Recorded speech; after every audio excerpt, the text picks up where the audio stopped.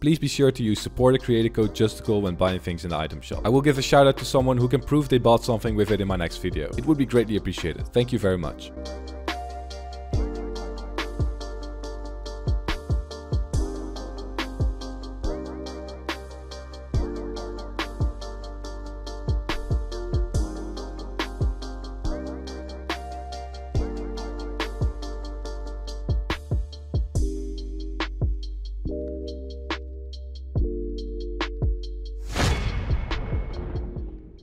What is up boys and girls, it's me Justicul again and welcome back to a brand new video. Now I'm gonna keep it short and simple. After you have watched the whole video, click on the link in the top of the description and watch me play live in Kungarna's EU trials. I hope to see you there, enjoy the video.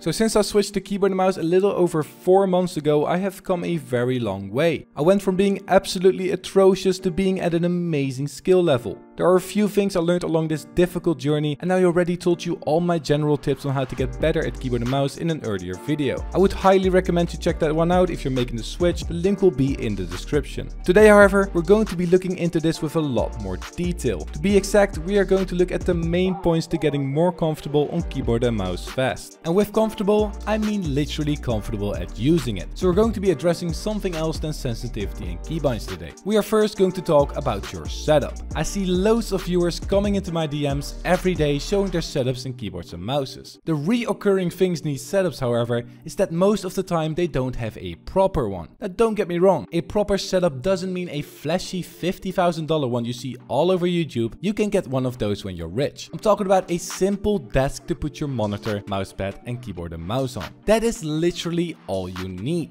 I see too many people using keyboard and mouses on a small coffee table or anything else that is placed lower than where a mouse and keyboard should be. A keyboard and mouse should be easily accessible for you without stretching your arms and should be at the right height. Now trust me, I get it. Some of you play keyboard and mouse on a PS4 or Xbox in the living room with a giant TV and use the coffee table as support for your keyboard and mouse. I had the same kind of setup back in the day and you can even get good on a weird setup like that, but that is not what you want. Not only will it take significantly longer for you to get better at the game as you're playing in poor conditions, it could also mess up your back with prolonged playtime as your posture is horrible while playing. So yes, if you want to get better and more comfortable at keyboard and mouse fast, buy a cheap desk and place your on there. I got mine at IKEA a few years ago and it definitely played a crucial role in getting me to the skill level I am today. It may sound simple, but it is often overlooked. It doesn't matter how cheap the desk is, get it, as long as it is better than a coffee table. Now that you have your desk, we are going to look at something that you will put on that desk. A good mousepad. Now there are a lot of mousepads out there, from normal ones to XXL ones. Which one you buy should be up to you and your personal preference. Just make sure to have the following tips in mind when buying one.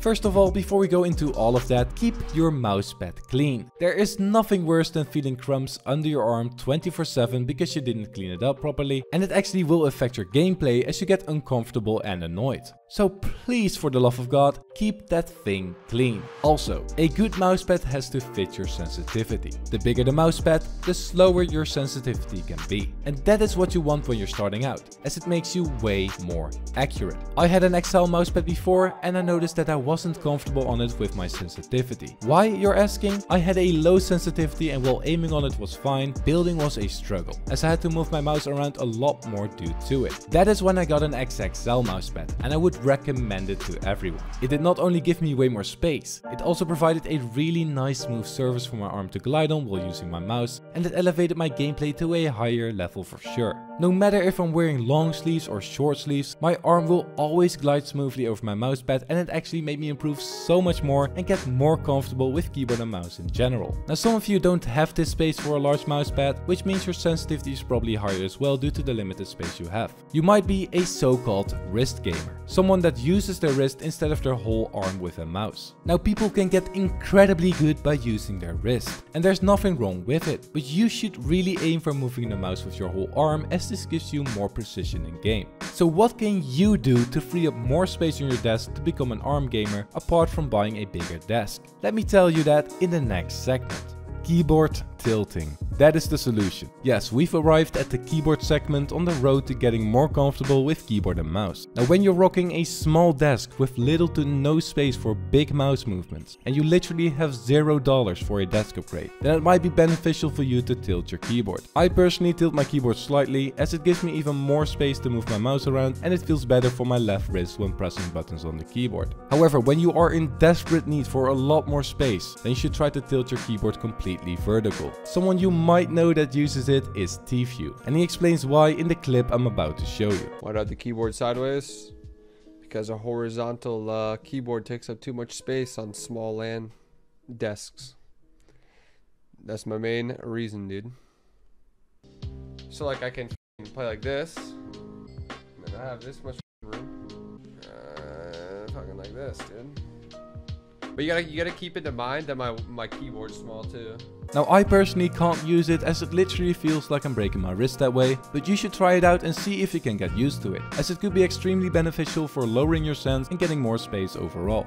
Now to save even more space, you should also buy a 60% mechanical keyboard. This means 40% of your keyboard is just gone, while all the essential keys for playing the game remain. It made playing so much more comfortable for me and I don't think I ever could go back to a regular keyboard. Two great 60% keyboards you could pick up are the Ducky One 2 Mini and the Anne Pro 2. They are both extremely popular, so it could take some time to get in. But I would say it is 100% worth it. Now that you have a good foundation, you need to also start off right on the keyboard. When placing your fingers on the keyboard, rest your middle finger on W, index finger on D, ring finger on A, thumb on spacebar and pinky on shift. W, A, S, D are your movement keys and thus the most important. This is the proper way to play on the keyboard and practice with these keys until you get comfortable with it. I know there are videos out there of people using different movement keybinds, but these people have mastered it and can't easily transfer over to WASD anymore. And while it frees up more keybinds to press, it is just easier to learn the default layout from the start. You will always have enough keybinds close to your movement keys to use, especially if your mouse has two buttons. Besides the movement keys, the rest of the keybinds are up to you to change to your preference. Just make sure they are both competitive and easy to use for you. You don't want to feel extremely uncomfortable, but you also need to understand that learning takes time and that pressing some keys will feel uncomfortable. Also, when deciding on your keybinds, think to yourself if you use your thumb or not when pressing keys. This all comes down to how you were taught to type back in the day, as some people use their thumb for Z, X, Z and V, while others use their index finger. Pressing these buttons with your thumb is arguably faster and you should consider if you want to learn using your thumb for these keys, but pressing them with your index finger is also fine. Whatever is most comfortable for you. I personally use my index finger to press C and Z, X and V are unbinded for me as they are not comfortable for me to press as I am not someone that uses my thumb for these keys. There are plenty of other keybinds to replace them. Don't worry. Start with these basics, practice a lot and over time it will feel natural and the discomfort in your fingers will stop. Oh, right. And as far as the mouse goes, make sure it has two side buttons and decide if you want it wireless or not and you're pretty much good to go. It is all personal preference. You have things like the weight of a mouse and hypergliders but I just wanted a wireless mouse and the G Pro Wireless has worked wonders for me. Now I hope you found this video helpful. I put a lot of time, knowledge and effort into it. If you did enjoy it then please leave a like on it and consider subscribing. It would be greatly appreciated. And now go click on the link in the description and hang out with me live. If not, then I will see you all in the next video.